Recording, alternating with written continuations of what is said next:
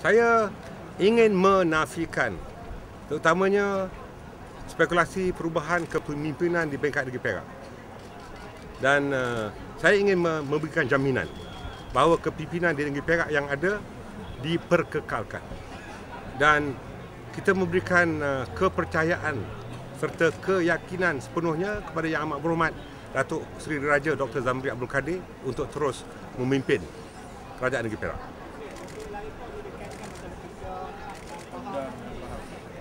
Di dalam perkara ini, pendirian Yang Amat Berhormat Perdana Menteri selaku Ketua Kerajaan dan uh, Presiden Parti adalah jelas bahawa yang penting adalah dokongan uh, daripada semua pihak.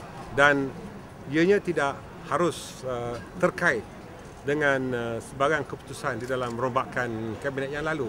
Kerana ianya melibatkan rombakan di peringkat nasional dan saya tidak mahu mendahului Perdana Menteri di dalam membuat keputusan tetapi yakinlah bahawa tidak akan berlaku rombakan atas barang pertukaran di mana-mana negeri. Dan jangan timbul spekulasi mengenainya. Jangan ada perasaan di dalam hati pemimpin berkenaan untuk diletakkan putting aside any positions.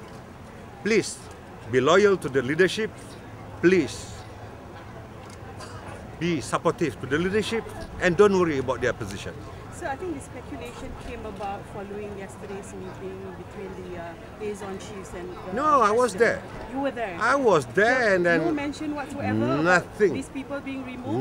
nothing. Okay. Okay, I would like to reassure that there, there will be no changes in due course.